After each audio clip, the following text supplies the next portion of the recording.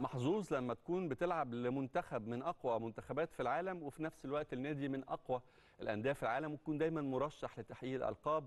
دي باختصار شديد يمكن جزء من مسيرة ويلي سانيول نجم منتخب فرنسا السابق وطبعا نجم من نجوم بايرن ميونخ واحد من هدافين الفريق صاحب اهداف مميزه الحقيقة. وحاليا هو بيتولى مسؤولية المدير الفني لمنتخب جورجيا. خلينا نستقبله ونرحب بيه معانا في السادسة. طبعا كل الشكر ليك على مشاركتك معانا واهلا وسهلا بيك على شاشة الأهلي ويلي سانيول نجم فرنسا ونجم بايرن ميونخ. merci merci ا شكرا جزيلا شكرا لدعوتكم لي يعني خليني أبدأ من آخر المحطات توليك لمسؤولية الإدارة الفنية لمنتخب جورجيا. بتشوف المرحلة دي إزاي؟ طموحاتك إيه مع منتخب جورجيا سواء في تصفيات اليورو أو التصفيات المؤهلة لكأس العالم؟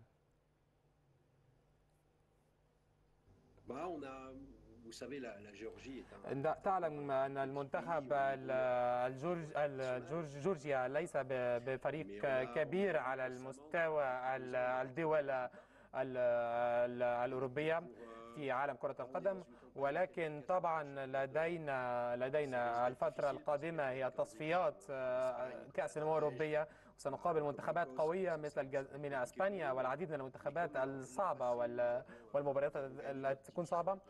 ولكن نحن نحن في شهر ثلاثة سنسعى سنسعى أن نقوم بأقوى ما لدينا وأن نكون مستعدين أيضا إذا إذا وصلنا لكأس للصعود لأمم أوروبا سيكون صعود تاريخي. هل الرهان في منتخب زي منتخب جورجيا بيكون على اللاعب النجم؟ شفنا التجارب قبل كده شفنا زلاتان إبراهيموفيتش مع السويد شفنا أو بنشوف حاليا إيرلينج هالاند مع النرويج أيضا منتخب جورجيا يملك يملك موهبة الجميع يعني أجمع على تأثيرها وخصوصا مع فريقها في الدوري الإيطالي وهو كافيتشا كفاراتسخيليا نجم نابولي اللي حقق بطولة الدوري الإيطالي. هل تعتقد إنه قادر على يعني إنه يكون فاعل أو مؤثر بنفس الشكل مع منتخب جورجيا ولا القصة ما بين نابولي وجورجيا مختلفة تماما؟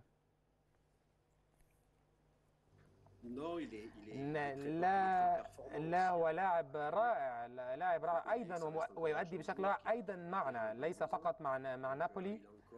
هو هو لديه العديد من من الوقت لكي يتطور أكثر وأكثر ونحن اخترناه لأنه لاعب مؤثر. ونحن نشجعه نشجعه أن ان يستمر في العمل بقوة لكي لكي يستمر في التقدم وكي يستمر في تحسن مستواه. ونعلم أن منتخب مثل منتخب جورجيا يوجد يوجد لاعب لاعبين رائعين كما كنا خيليا.